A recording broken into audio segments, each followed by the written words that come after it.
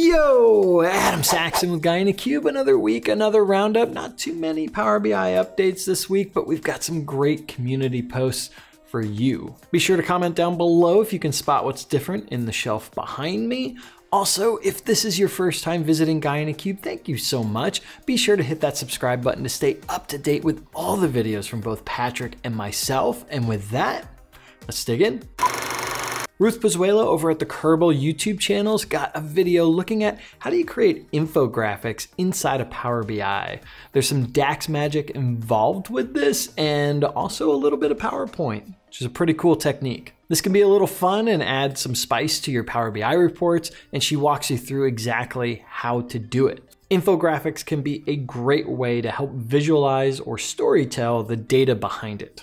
If this is something that interests you, be sure I've got the video linked up above, or you can check the link as always down in the description below, along with links for all the items in this week's roundup, including some bonus items, so go check it out.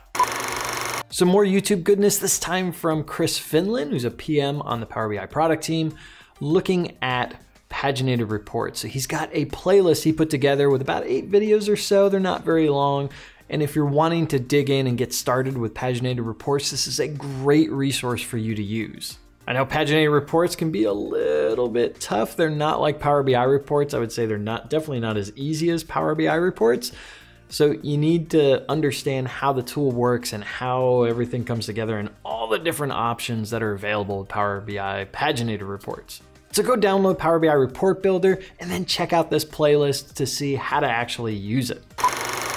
Laura Graham Brown over at the Hatful of Data blog has got an item looking at Power Query joining inside of Microsoft Flow. This is part of the broader Power Platform, right? Not Power BI, but it's Power Query, right? So it's similar on all the fronts where you can use Power Query. And when it comes to joining data, we're talking about, you know, merging queries with one another. And she walks through how you can do that and the different join types that are available when you go to merge. The thing I really love in the screenshot in there is the the icons they have for the join types. I, I wish that was in Power BI. Hopefully it'll come to Power BI at some point.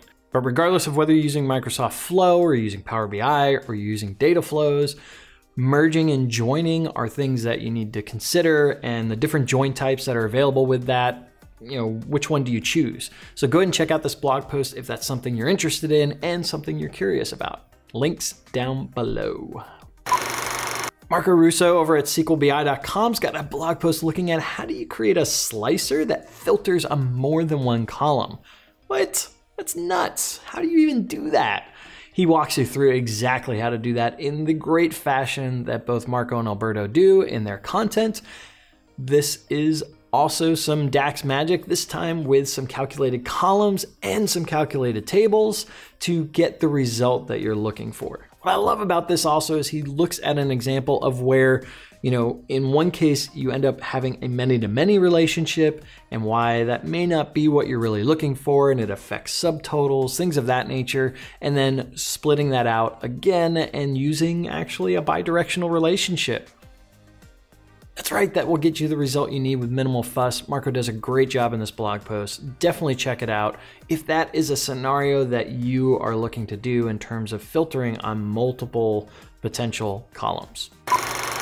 This next blog post is about the Power BI mobile app, and I'm really curious if you're using the mobile app itself and what do you think about it? If you are using it, you may have noticed a little bit of a different look to it. So it got an update to the look of the mobile app, so it was redesigned a little bit to make it better organized. This has a new homepage with it and also quick access to stuff you commonly use. It also takes advantage of the new corporate branding that may be applied to your tenant. So if you are using that and you switch into the new look, you will see that same branding theming that's part of the mobile app. But now you're asking me, why don't I see this? And the reason is, is you have to opt into it inside of the app. So check out this blog post for all the details, how you can opt into the new look and start taking advantage of it. And definitely give feedback. Links as always, down below. All right, I want to pass this off to you. What was your favorite item this last week? Maybe it was something I mentioned, maybe it was something I didn't. Let me know down in the comments below. I would love to hear from you.